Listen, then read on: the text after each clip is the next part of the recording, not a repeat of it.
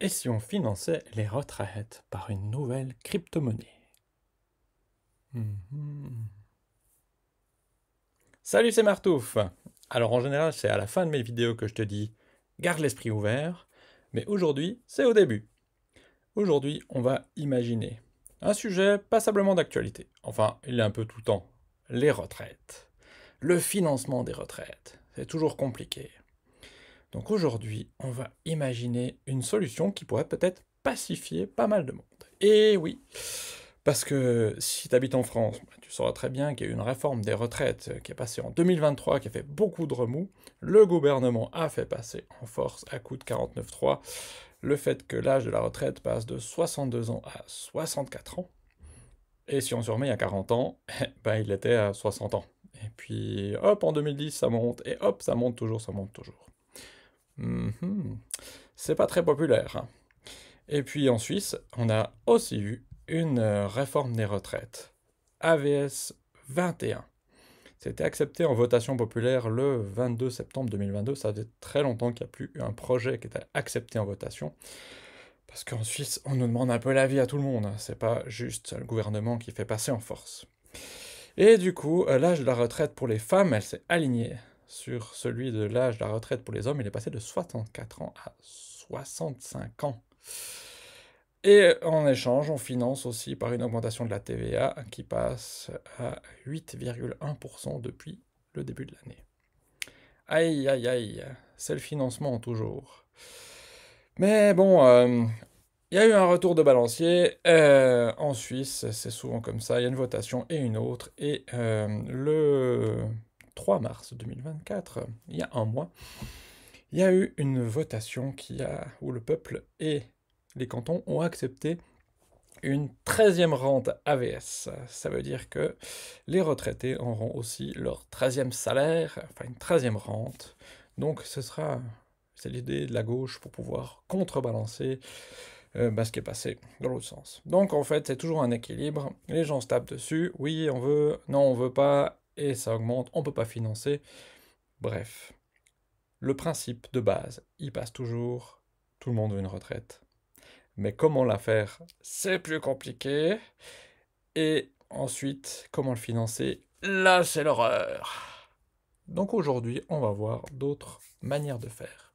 Les crypto-monnaies, c'est intéressant. On n'y a pas pensé jusqu'ici parce que bah, c'est pas aussi vieux que le reste. Mais déjà, euh, ça vient d'où les retraites? Comment ça marche? Tu sais, dans le détail. Parce qu'on parle beaucoup, mais en fait, euh, on ne sait pas forcément comment ça fonctionne. Petit retour, alors, avant que je revienne là-dessus. Donc, euh, si je compte, en Suisse, ça fait un bon siècle que les gens sont d'accord pour un principe d'une retraite qui est gérée au niveau de l'État global dans la Confédération. Euh, c'est même dans une votation en 1925 que le principe d'une caisse de retraite globale a été accepté. Mais comme ils n'avaient pas mis le financement dans la votation, les gens sont tapés dessus pendant encore longtemps. Le financement, le financement, toujours.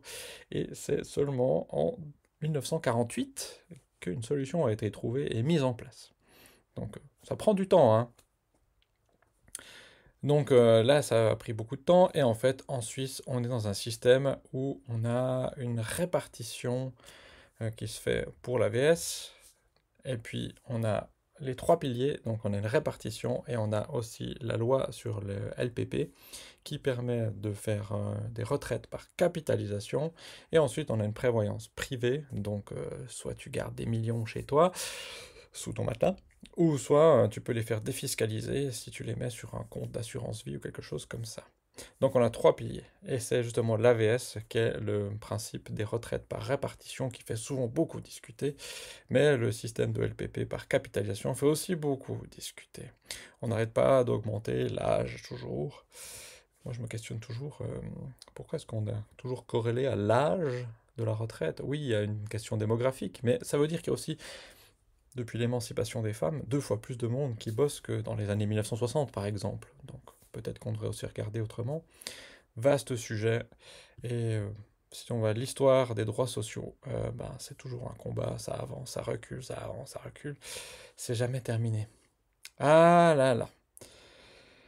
Donc, euh, on a cette histoire de 13e rente AVS qui débarque, ce serait peut-être l'occasion pour juste un mois de juste faire un petit test avec le financement par des crypto-monnaies.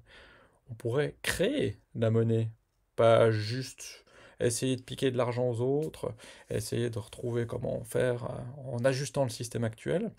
Parce qu'il faut savoir que actuellement, l'AVS en Suisse, c'est payé par des cotisations sur les salaires, et on prend 8,7% du salaire, dont la moitié des 4,35 est payée par l'employeur, et l'autre moitié par le salarié, et on met tout ça dedans. Plus maintenant encore la TVA qui vient d'être augmentée de 0,4 points pour pouvoir financer aussi les retraites de l'AVS. Et en plus de ça, après il y a encore des cotisations qui sont prises pour le deuxième pilier, la loi sur la prévoyance professionnelle par capitalisation, où là on va enregistrer, on va enfin accumuler un capital dans son propre compte, qui est géré ensuite par souvent des grands fonds de pension qui, euh, qui deviennent tellement gros qu'ils achètent tout. Après, ils vont dans la bourse, ils déstabilisent la bourse, on leur dit partez de la bourse. Ils vont dans l'immobilier, ils déstabilisent l'immobilier, ils font monter les prix, les loyers et tout. Et on leur dit partez de là. Et en fait, on est souvent un peu mis en esclavage par nos propres retraites. Alors la retraite par répartition a l'avantage de faire une boucle directement l'utiliser, c'est les travailleurs qui actuellement donnent l'argent directement aux retraités. Simple répartition, donc il n'y a pas trop de jeu à faire là-dessus. Le problème, c'est la démographie. Avec la pyramide des âges qui s'inverse, quand il y a trop de retraités et pas assez de travailleurs, ça coince.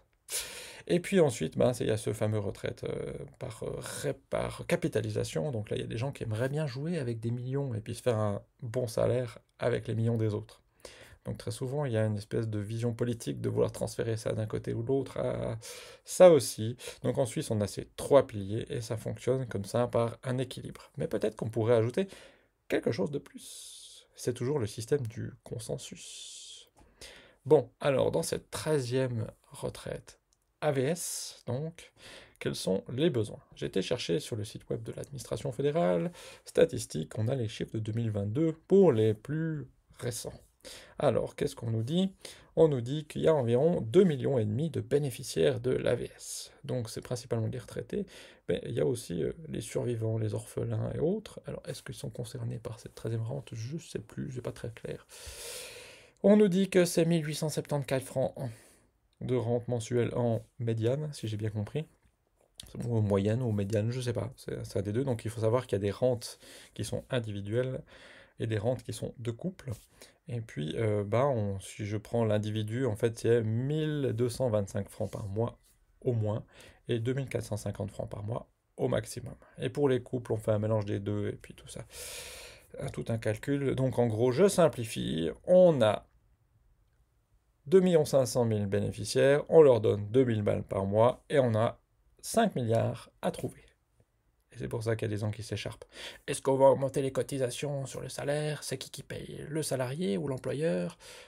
Au final, si on augmente les salaires, ça veut dire qu'on augmente les prix aussi dans les entreprises, donc c'est le consommateur qui va payer plutôt. Euh, finalement, ça devient compliqué tout ça. Euh, est-ce qu'on veut faire la TVA Donc encore une fois, c'est le consommateur. Peut-être qu'on pourrait sortir 5 milliards par création monétaire. Mhm on continue l'investigation. Donc j'ai aussi trouvé que dans les récentes discussions qui se font là-dessus, il y a des gens qui ont évalué qu'il fallait 4,2 milliards. Donc mes 5 milliards, voilà, c'était assez dans la cible. Alors il faut savoir qu'actuellement les recettes de l'AVS sont de 50 milliards par année et on en dépense 47 milliards et on garde un petit peu pour euh, le bas de laine plus tard, je suppose. Je ne suis pas très au fait de tout. Bon, si on veut créer de la monnaie, ah, attention, c'est un sujet qui coince, en général, c'est très attendu. Alors, on va déjà comprendre ce que c'est. Il se trouve que ça tombe bien, je suis un spécialiste de toute la question monétaire. Si, si, vraiment. Euh, oui, si tu ne me connais pas encore, va voir toutes mes vidéos, comme celle de ma playlist L'astuce de Crasus. J'ai fait tout un dossier sur l'histoire de la monnaie et les systèmes économiques. C'est un sujet qui me passionne depuis au moins une bonne dizaine d'années. Et là, eh ben, on va en discuter parce que c'est finalement assez peu connu. Bon, j'ai déjà fait plein de vidéos, mais comme ça, je résume un peu le sujet ici. Ça va pas être tout refaire ce qui existe déjà, mais comme ça, t'as pas besoin d'aller voir une autre vidéo, sinon je perdrais du temps. Donc en Suisse, on a la loi sur l'unité monétaire et les moyens de paiement qui décrit exactement ce que c'est que la création monétaire, la monnaie en Suisse. Donc on a le franc suisse, c'est l'article 1, c'est l'unité de mesure. Et ensuite, on sait que la Confédération peut émettre des pièces de monnaie. C'est de la monnaie ayant cours légal, avec Dame Helvetia.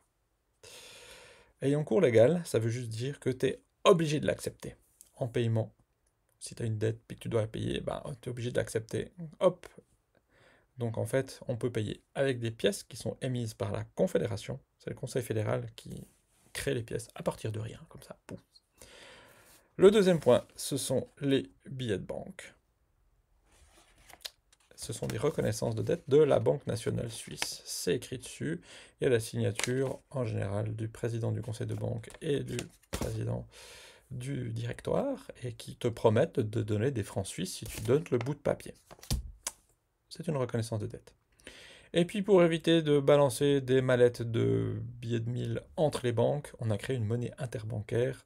C'est les avoirs à vue en francs auprès de la Banque nationale suisse. C'est la monnaie scripturale. Et là, bah, j'en ai pas, vu que je suis pas une banque. Donc ça, ce sont les trois moyens de paiement légaux en Suisse, les trois moyens de paiement qu'on est obligé d'accepter. Légaux, illégal, c'est pas illégal, mais il y a une autre qui est allégal, ou hors du cadre de la monnaie ayant cours légal, donc on n'est pas obligé de l'accepter, on peut choisir, c'est tout le reste. Tout le reste, donc euh, monnaie, euh, celle qu'on utilise le plus couramment, la monnaie scripturale des comptes, les comptes bancaires. UBS, euh, Crédit Suisse, Raiffeisen, Postfinance, ou si tu es en France, la BNP, Société Générale, ce genre de choses, voilà. Et les banques créent donc de la monnaie avec le crédit bancaire. Si tu vas demander, j'ai besoin de 100 000 balles pour acheter un appartement, Ok, voilà, bah on te donne 100 000 balles sur ton compte. En fait, c'est une reconnaissance de dette de la banque. Et eh ben ça, c'est pas dans la loi sur l'unité monétaire et les moyens de paiement. C'est pas une monnaie ayant cours légal. C'est ce que le Conseil fédéral en Suisse a appelé un substitut monétaire. Oui, il y a une question qui a été posée en 2012 par Gary Muller. Il dire est-ce que la population est au courant? Le Conseil fédéral dit oui, oui, bien sûr. Hmm, j'ai quelques doutes. Mais toujours est-il qu'effectivement, ce sont des substituts monétaires et le Conseil fédéral a bien dit que la croissance des substituts monétaires est laissée à la libre appréciation des marchés conformément à la conception du secteur privé ancrée dans la Constitution. Donc en gros, c'est un business comme un autre de créer de la monnaie en Suisse. Bah, c'est un peu comme si tu ouvres un restaurant, tu as le service d'hygiène qui va te tomber dessus si tu fais pas ça dans les règles. Et bah là, euh, tu peux aussi créer de la monnaie en Suisse, tu deviens une banque, et puis tu es soumis à l'autorité de la surveillance des banques, la FINMA. Bon, voilà, c'est comme ça, ça se crée. Alors, 90% de la monnaie en circulation en Suisse, c'est des substituts monétaires. Et on paye nos impôts avec ça. L'impôt une... sert à imposer. Imposer quoi? On verra juste après. Donc on a un empilement de systèmes de monnaies différentes qui existent, qui sont créés de manière différente, qui ont des statuts différents. Donc on ne peut pas dire c'est la monnaie, c'est plein de systèmes monétaires. Ça devient compliqué. Ouh là là. Alors, va voir ma playlist sur euh, l'histoire de la monnaie, l'astuce de Crésus, je vais mettre le lien en description, comme ça tu pourras apprendre plein de choses, on refait toute l'histoire, 6 millions d'histoires comme ça. Bon, alors on a des pièces, des billets, de la monnaie scripturale, on a la monnaie scripturale de, la Banque nationale qui est ayant cours légal, et la monnaie scripturale des banques commerciales qui sont des substituts monétaires, mais où sont les crypto-monnaies? Ça c'est le nouveau truc. Et eh bien en Suisse aussi, on a beaucoup de crypto-monnaies. C'est un des pays qui se présente comme euh, la référence en crypto-monnaie. C'est l'endroit où il faut venir. D'ailleurs, euh, Ethereum, fondation une des plus connues dans les crypto-monnaies, c'est basé à Suisse. En Suisse, à Zug. Et euh, il y a eu un superbe rapport du Conseil fédéral en 2018 qui dit qu'il faut absolument aller dans le sens des crypto-monnaies. Et donc on a légiféré pour que tout soit clair. Donc le Conseil fédéral dit en substance qu'il souhaite ainsi instaurer des conditions cadres optimales pour que la Suisse puisse s'établir et se développer en tant que place économique innovante et durable, au du premier plan pour les sociétés fintech et blockchain et pour les entreprises novatrices en général. C'est beau, hein Donc voilà, on sait maintenant qu'une crypto-monnaie du type Bitcoin, donc qui porte de la valeur, qui est un moyen de paiement par exemple, c'est des actifs purement immatériels. Et du coup, on nous dit, on n'a pas besoin d'adapter le droit en vigueur, ça existe déjà, donc faites vos business, tout va bien. Ok, alors on a déjà tout. Si je veux créer une crypto-monnaie qui me permettrait de financer les retraites, je peux faire une petite ICO, je peux créer donc de la monnaie et puis la distribuer, pas de souci, hein. on a déjà le cadre légal, puis le Conseil fédéral est tout à fait pour. Hein ça peut être pas mal.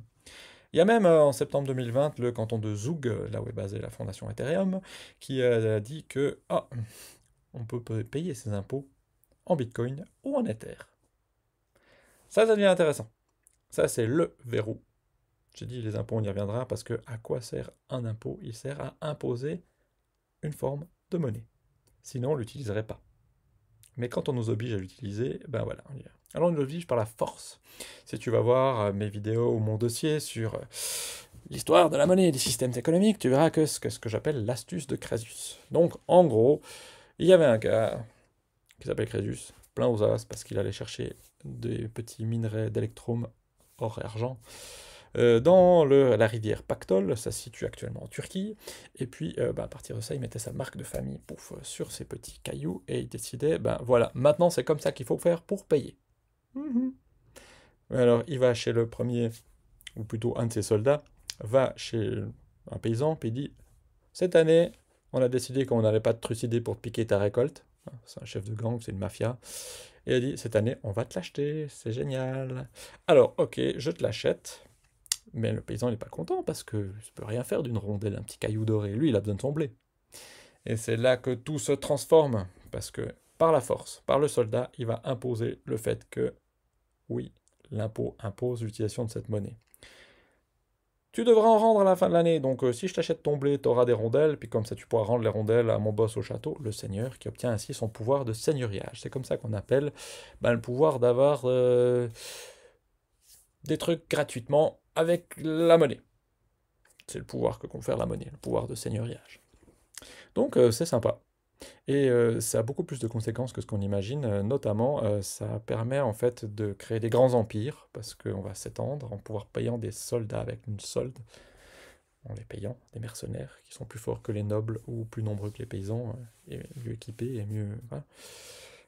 Donc c'est génial pour conquérir ses voisins. Et surtout, en fait, ben, ça crée l'économie de marché. Et l'économie de marché, ça demande de se spécialiser et du coup, ça développe le progrès scientifique, la science, la technique. Et on sort d'un mode traditionnel pour aller dans ce qu'on est la modernité actuelle, le progrès. Donc voilà, tout ça, c'est issu de ça juste l'impôt qui impose une forme de monnaie. Donc si on veut que ça marche, ma crypto-monnaie, pour pouvoir financer les retraites, il faudrait que ce soit accepté comme moyen de paiement des impôts. Sinon, ça va jamais marcher. Et c'est ce qui fait que toutes les monnaies locales ne fonctionnent pas. D'ailleurs, ça doit être fait pour. L'impôt qui impose la monnaie, d'ailleurs, pour être intéressant, comment est-ce qu'on en est venu à accepter la monnaie des banques commerciales, des substituts monétaires hein? A priori, on n'est pas obligé. Ok, alors on continue. Euh, cette monnaie numérique, euh, comment je la crée? Ça existe déjà? Est-ce qu'on ne l'aurait pas? Eh bien, il se trouve que oui, depuis quelques années, euh, notamment depuis l'été 2021, la Banque nationale suisse est en train de faire des tests de ce qu'on appelle les monnaies numériques de banque centrale. Donc, pour faire bref, c'est toute la mouvance des crypto-monnaies qui a débarqué avec la blockchain du Bitcoin en 2009 et qui tout d'un coup s'est répandu partout. Et on s'est dit, hmm, techniquement c'est intéressant, mais pourquoi faire deux trois adaptations Parce que nous on veut un système pas trop anarchiste, mais plutôt bien contrôlé, où on peut faire ce qu'on fait dans les banques, on peut annuler des transactions, les remettre, contrôler, contrôler, contrôler. Donc euh, voilà, on a créé plein d'expériences de par le monde. Et donc euh, depuis l'été 2021, il y a eu le projet Jura qui s'est fait entre la France et la Suisse. Ensuite, le projet Helvetia, et le projet Helvetia phase 1, phase 2, phase 3. On a la phase 3 maintenant du projet Helvetia, 2023-2024 jusqu'en juin, qui expérimente en fait une monnaie numérique de banque centrale qu'on dit monnaie de gros, parce que c'est la monnaie, la monnaie interbancaire, celle qui circule que entre les banques, qui permet de se refinancer d'une banque à une autre. Parce qu'elles, elles ne se font pas confiance avec leur leur substitut monétaire. Les banques, elles aimeraient du, de la vraie monnaie ayant cours légal. Donc en fait, elles s'échangent actuellement ben, la monnaie ayant cours légal scripturale de la Banque nationale. Et eh bien maintenant, ils sont en train de faire ça avec des registres distribués, qui est une sorte d'extension du concept de blockchain qui a été lancé par le Bitcoin. Et cette monnaie numérique de banque centrale, elle est basée sur un logiciel, une solution de Corda, qui est une entreprise développé par une entreprise qui s'appelle R3, qui a été créée il y a une dizaine d'années par un consortium de banques comme euh, Barclays, Société Générale, Deutsche Bank. Et c'est pour utiliser ces fameux DLT, Distributed Ledger euh, Technology. C'est une technologie de registre distribué. Donc ça fait quelques années que ça se développe, que ça avance, que c'est pratiquement mûr parce que ben, c'est là. Déjà chez les Chinois, c'est là, depuis 2022, depuis les Jeux Olympiques. Ils ont lancé leur monnaie numérique de banque centrale et celle-là, elle est directement accessible du public, de tout le monde notamment dans WeChat, petite application qui fait tout, dans laquelle on peut faire ses paiements directement, on reçoit les factures, on fait les paiements, tchic tchic. Voilà, alors les Chinois utilisent une monnaie numérique de banque centrale, actuellement largement expérimentée, donc euh, il y a assez de monde. Dans les autres pays, c'est pas encore euh, mis en place comme ça, mais euh, alors en Suisse, ben, c'est en place entre les banques. Et puis, euh, ben, en juin 2023, Thomas Jordan, le président du directoire de la Banque nationale suisse, disait qu'il ne s'agit pas d'une simple expérience, il s'agit d'une monnaie réellement équivalente aux réserves bancaires. Et l'objectif est de tester des transactions réelles avec les acteurs du marché. Donc tout est réel. Donc c'est plus un test, c'est réel, ça fonctionne. C'est pas une expérience à côté. Mais pour le moment, ils ont un peu peur de faire une monnaie destinée au public. Ils se gardent ça dans le petit cercle fermé des banques. Comme ça, il y a moins de risques, on peut encore expérimenter, voir ce que ça fait. Mais euh, Thomas Jordan complétait euh, avec cette question, est-ce que ça viendra vers le grand public comme en Chine Nous n'excluons pas que nous n'introduirons jamais des monnaies numériques de banque centrale de détail, mais nous sommes un peu prudents pour le moment. Alors, savoir que les banques centrales mentent tout le temps, parce que dès qu'un banquier central dit quelque chose, ça influence le marché, donc ils sont toujours très très très très prudents. Mais ça veut dire quand même que si on observe les signes, ils communiquent depuis pas mal d'années déjà là-dessus. Euh, la Banque euh, des règlements internationaux aussi. Dans mon dossier euh, sur les systèmes économiques, j'en parle. Et donc voilà, on y est presque, on a tout ce qu'il faut. L'État pourrait créer carrément directement une monnaie numérique de banque centrale qui permettrait de distribuer les recettes. Euh, il y a quand même juste un petit souci. Euh, euh, c'est quand même qu'il faudrait passer à la création monétaire. Et ça, c'est pas encore tout à fait acquis. Donc on fait du transfert actuellement. C'est pas dangereux le transfert, hein. c'est juste convertir un système à un autre. Alors en informatique, on a l'expression code is law. Donc le code est la loi. Et c'est ce qu'on explique, euh, par exemple, quand un logiciel fait quelque chose ou ne fait pas, ben, euh, c'est difficile de faire faire autre chose que ce qu'il est conçu pour faire. Dans la réalité, je peux toujours aller braquer ma banque, je peux toujours faire quelque chose, mais quand un logiciel n'est pas conçu pour faire quelque chose, je peux rien braquer, je peux rien faire ce qui est en dehors du cadre. Par exemple, les voitures autonomes, ben, qui va décider euh, qui on va tuer en cas d'accident hein, Si c'est le piéton devant que je sais pas que je peux pas freiner, ou alors je dévie la voiture et je tue le conducteur. Je tue le piéton ou le conducteur. Dilemme entre les deux bah, il y a un algorithme qui décide. Et là, eh ben, c'est le code qui décide, ou le programmeur qui est derrière le code. Alors, euh, probablement qu'on a résolu ce problème en faisant un tirage au sort aléatoire, parce qu'on n'a pas envie de prendre une responsabilité. Donc ce genre de choses, eh ben, c'est code is law. Ça veut dire que maintenant, euh, dans la création monétaire, historiquement, ben, c'est Crésus qui crée sa monnaie pour lui. C'est de l'esclavage ce qu'il fait. Hein. On peut encore discuter de savoir si on est toujours dans l'esclavage ou pas. Mais toujours est-il que là, euh, il y a un gars tout seul qui décide. Ensuite, c'est devenu un État. Euh, c'est Dame Helvetia, petite allégorie de l'État suisse. C'est elle qui décide. Donc c'est les politiciens. Et il y a eu tout un circuit du trésor, comme on pouvait l'appeler, surtout en France, euh, qui décide à un moment donné bah, de quel projet on peut allouer alors, euh, par exemple, il y a quelques projets, j'ai retrouvé en 1912, je crois, en Australie, des projets super intéressants de gens qui font ce qu'on appelle maintenant la théorie monétaire moderne, euh, le chartalisme, qui permettent en fait de financer complètement. Euh, on a besoin d'argent pour l'hôpital Ok, ben, on crée l'argent pour l'hôpital. On a besoin d'argent pour construire une centrale électrique, on crée l'argent pour créer la centrale électrique. Donc pour les infrastructures, tout ça c'est génial. En Australie, ils ont fait ça il y a une centaine d'années, ça s'est développé à une vitesse incroyable. La, banque du... Commonwealth, c'est comme ça. C'est juste incroyable. Et ensuite, en général, il y a des intérêts qui vont dans l'autre sens parce qu'au niveau international, ça va plus trop bien. Au niveau de l'inflation, c'est un peu compliqué. Il faut rééquilibrer parce qu'on a tendance à créer trop de monnaie qui va dévaluer son pouvoir monétaire. Alors pour les gens qui font du commerce international, c'est compliqué. Mais pour les gens qui vivent en vase clos, euh, bah, c'est bien. Alors en Australie, ça s'est terminé quand les éleveurs de moutons qui voulaient vendre leur laine ont pris le pouvoir et ils ont tout enlevé tout ça et ils ont refait un système dans lequel euh, ben, on a décidé que c'est les livres sterling et ils ont fait un crédit en livres sterling à l'autre bout du monde et du coup l'Australie est dirigée par les banquiers anglais. Souvent comme ça. Donc là, le circuit du trésor, il a été euh, réduit euh, à rien du tout. Depuis 1973, la loi de 73, comme on dit en bon français de France, ben, ça interdit l'État de se financer par sa propre banque, en fait. Donc sans intérêt. Maintenant, on doit passer par des banques commerciales et rajouter l'intérêt. C'est comme ça que ça se passe actuellement partout. En Suisse, c'est arrivé en 2004, mais ça se pratiquait déjà avant. Passer par l'extérieur et pas par les politiciens, par la peur que ça fasse de l'inflation. Donc en fait, on a donné tous ces pouvoirs à une banque centrale, et puis c'est la banque centrale qui est totalement indépendante, vraiment très très indépendante, hein. vraiment totalement indépendante.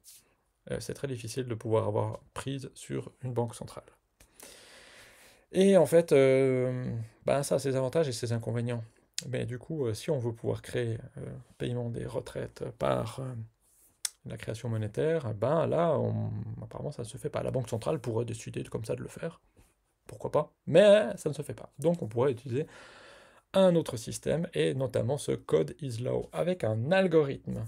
Un algorithme, eh ben, ça sort de ce principe de banque centrale qui décide de tout, mais en fait qui fait rien, parce que la peur, on suit les marchés on suit en fait euh, les banques commerciales, parce que la Banque centrale, euh, elle a des réserves qui doivent être... Les banques commerciales ont des réserves à placer en banque centrale, et en fait, bah, la Banque centrale crée la monnaie en fonction de ce que la banque commerciale lui demande. Donc elle ne gère pas tellement. Là, il y a euh, des banquiers qui ne sont pas d'accord. La Banque d'Angleterre dit que c'est comme ça que ça marche, que la Banque centrale ne maîtrise rien en fait. Et les banques plutôt latines disent oui, oui, on maîtrise le... la création monétaire. Ils ne sont, pas d'accord sur le même boulot, en fait. C'est assez marrant de voir ça. Donc ici, on pourrait dire avec code is law qu'on sort ce système. Donc comme ça, on ne on dépend pas en fait des conjonctures où dit ah tout va bien, je vais créer une entreprise, je vais acheter un appartement, donc je m'endette à fond parce que l'avenir est radieux. Et quand il y a une crise qui arrive, alors plus personne ne fait de crédit. Donc en fait, on a du crédit qui est à fond ou rien du tout, à fond rien du tout. Puis on est dans des politiques d'austérité. Hein. Allez, on dépense, austérité. Puis c'est pas très stable en fait. Donc euh, là, on dépend de ce genre de système. Donc finalement, on pourrait essayer de dépendre d'un autre système. Avec euh, Code is Law, on pourrait se dire, bah, il y a un algorithme comme dans le Bitcoin qui détermine qu'il y a 21 millions de Bitcoins maximum qui sont créés et pas plus. Là, on en a déjà 19 millions qui sont créés. Ils sont créés toujours plus lentement et on les donne à ceux qui vérifient le réseau, donc les nœuds, ce qu'on appelle aussi les mineurs par analogie avec euh, je vais miner pour aller chercher de l'argent ou de l'or. Donc en fait, euh, ben là, on ne peut pas tricher avec l'algorithme. Donc on pourrait faire un algorithme pour gérer les retraites. C'est assez stable parce qu'en fait, on connaît la démographie assez à l'avance avec la loi des grands nombres. En fait, qu'il y a des gens qui meurent ou pas, on ne sait pas quand ils vont mourir, mais statistiquement, on sait quand ils vont mourir. Donc en fait, on peut calculer à l'avance quelle sera la quantité de monnaie à disposition. Donc en fait, les autres acteurs qui créent de la monnaie, comme la Banque nationale suisse, peuvent s'ajuster sur ce facteur-là. Donc on pourrait assez facilement juste faire un test pour 5 milliards par année. 5 milliards, c'est rien du tout. Parce que tu sais combien elle crée la Banque nationale en milliards hein? J'ai été regarder un peu les statistiques. Hein. Ça fait un moment que j'étais pas allé voir. Eh bien, si on prend ces 20 dernières années, depuis 2004, on était à peu près à 100 milliards, stable jusqu'en 2007. Ensuite, crise bancaire, financière, tout ça. On crée 100 milliards par année. Et ça se stabilise un peu, mais avec la crise Covid, on était à 1000 milliards dans le bilan de la BNS. Donc on est passé de 100 milliards à 1000 milliards. On est un petit peu redescendu, on a 800 milliards. Si je lise tout ça, ça fait que sur 20 ans, on a 40 milliards qui sont créés par la Banque nationale suisse chaque année. C'est son bilan. Son, bilan, ce sont des dettes, mais en fait, les dettes, bah, c'est ça. Ça, c'est une dette de la BNS. Et eh bien, c'est avec ça que je paye. Donc, en fait, une dette, euh, toute forme de dette peut être utilisée comme moyen de paiement. C'est d'un côté un avoir, d'un côté une dette. Si on réduit, si on rembourse toutes les dettes, il n'y a plus de monnaie. il reste un peu que les pièces, vu qu'elles ne sont pas faites. Mais comme euh, il y en a, je sais plus, 80 milliards, bah, 80 milliards de francs, ça ne va pas suffire avec les, ces énormes euh, milliers de milliards qu'on a dans tout le reste. Parce qu'il faut savoir qu'avec le merveilleux système des réserves fractionnaires, il est possible pour un franc déposé à la BNS, pour une banque, d'en émettre 40. Donc potentiellement, il peut y avoir 40 fois plus que dans le bilan de la BNS. Donc en fait, si on a 1000 milliards à la BNS, on peut avoir 40 000 milliards en circulation. Mmh. Donc mes petits 88 milliards de pièces de monnaie, c'est pas grand-chose. Et 5, 5, 5, 5 milliards sur 40 000 milliards potentiels, c'est rien du tout. Donc on pourrait faire une toute petite expérience. Hein. Pour notre conseillère fédérale qui doit gérer le dossier, hein, ben on pourrait se dire que voilà, on prend euh, notre courage à deux mains, on crée une blockchain, on a déjà tout ce qu'il faut techniquement, au standard suisse, la loi suisse est pour, le Conseil fédéral est pour les blockchains, et pour les registres distribués, et on fait déjà juste cette 13e rente AVS qu'on va donner à tous les retraités. Allez, 2000 balles, 2500 balles, hein, tant qu'à faire, comme le revenu de base. Donc après, peut-être qu'on pourrait imaginer généraliser, pour l'ensemble des retraites, pour un revenu de base, pour plein de choses. Bon, alors là, attention, attention, parce que si je commence à dire tout de suite ça, on va dire, oh là là, non. On va faire juste un test, pour voir ce que ça fait. Qu'est-ce que ça fait dans l'inflation? Ouais, parce que donner des milliards à des banques, en général, ça fait gonfler la bourse ou ça fait gonfler le bitcoin. Ça ne lui dit pas tout, mais le bitcoin, s'il augmente beaucoup, il est totalement corrélé à la création des dollars. C'est la meilleure corrélation qu'on ait trouvée. Donc en fait, dès qu'il y a des gens qui ont beaucoup d'argent, ils le stockent là et ça bouge plus. Donc il n'y a pas de circulation. Mais dans l'inflation, c'est l'économie réelle, c'est la circulation qui fait aussi l'inflation.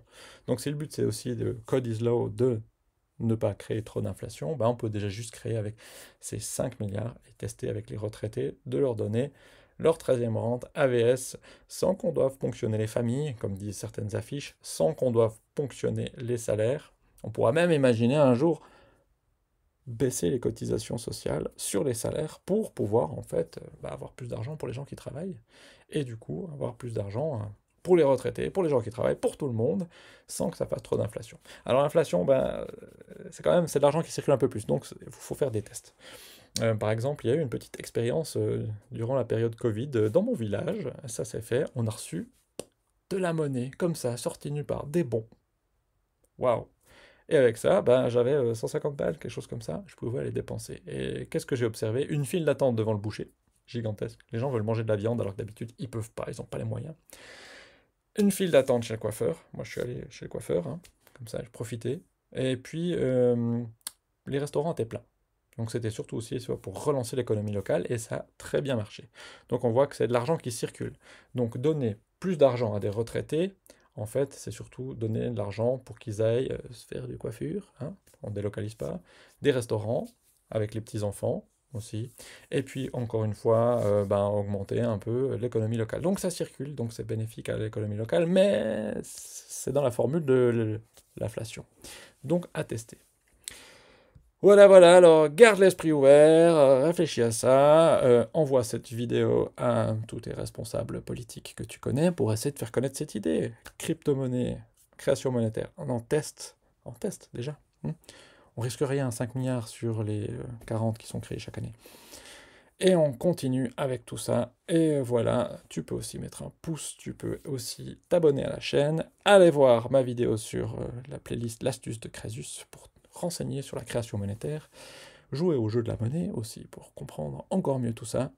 Et avec ça, peut-être que on va changer le monde, peut-être qu'il y aura une révolution euh, sans qu'on doive piquer de l'argent à quelqu'un, mais juste créer ce qu'on a besoin quand on en a besoin, tout d'un coup.